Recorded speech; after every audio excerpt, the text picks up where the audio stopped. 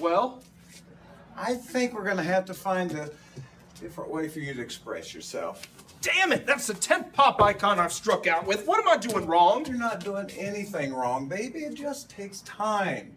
You've got a lot of the fundamentals down already. You've got a natural stage presence, and well, your lip syncing has finally reached perfection. You've come a long way since you glued your eyes shut trying to put on your false lashes. Then why can't I figure her out? Because this is a drag persona. It's not a J. Crew sweater that you can just pull on and off as easily as that. You know, sometimes it takes years to develop. Years. I gotta figure out how to make this work now. I told Joy I could support us off this job. So you two had to talk. Not exactly. She thinks I'm still bartending. Casey, Don't you Casey me. I'll tell her when I'm good and ready. I just haven't found the right moment. there will never be the right moment to tell your wife that you're doing drag.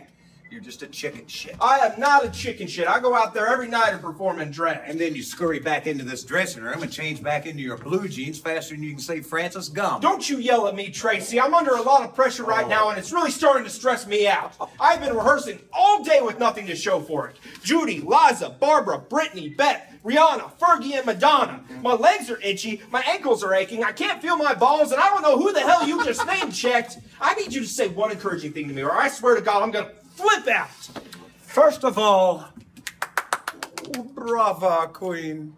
Look, I know this is the last thing you thought you would ever end up doing.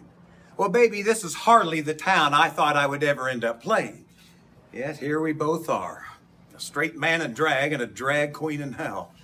You know, the only place for us to go from here is up. And the only thing holding us back are the limits of our imagination. Now, either we do this right or we don't do this at all. What's it gonna be? I wanna do this right. Well, then, quit your bitching and let's go out there with our tits up and our testicles tucked.